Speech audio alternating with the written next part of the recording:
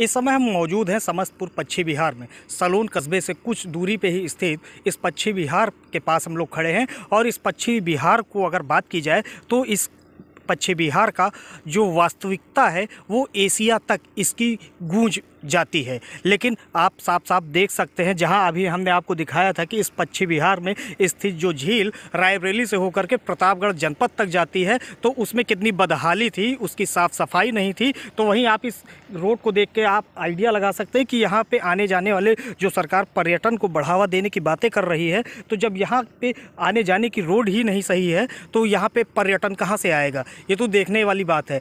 आखिरकार सरकार इतनी अनदेखी इस पश्चिम बिहार की क्यों कर रही है, जिसका नाम एशिया तक प्रसिद्ध है? आखिर इस पश्चिम बिहार को इसकी वास्तविकता कब मिल पाएगी, ये तो देखने वाली बात होगी। हाँ सरकार ने फैसला ज़रूर लिया है कि इसको पर्यटन स्थल बनाया जाएगा। लेकिन अभी इस पर्यटन स्थल की अगर बात की जाए तो यहाँ आने जाने वाला जब मार्ग ही नहीं सही है तो यहाँ पर्यटन कहाँ से आएगा?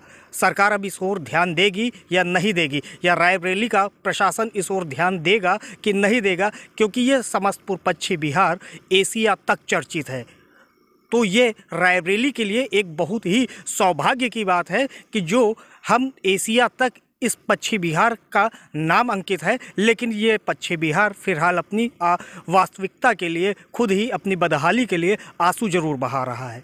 Rahul Mishra, R express, Raebareli.